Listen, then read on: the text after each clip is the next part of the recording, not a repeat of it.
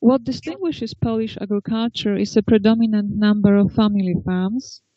Uh, family farms are medium-sized, mixed production farms when the activity is split between plant cultivation and animal breeding.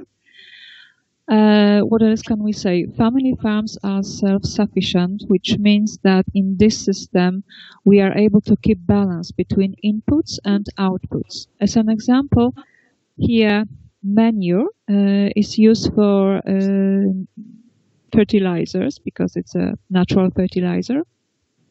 And on the other hand, cereals are animal fodder. So in this kind of sustainably managed farming, carbon emission is under control.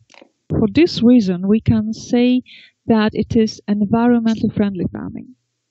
However, it is expected that the emission will be limited due to research carried out and uh, farmers' education about activities that reduce the nutrients from agro-ecosystem uh, throughout, for example, proper land use, like covering arable land to extensive grassland by soil management, which means following some specific activity techniques uh, and techniques, cultivation techniques.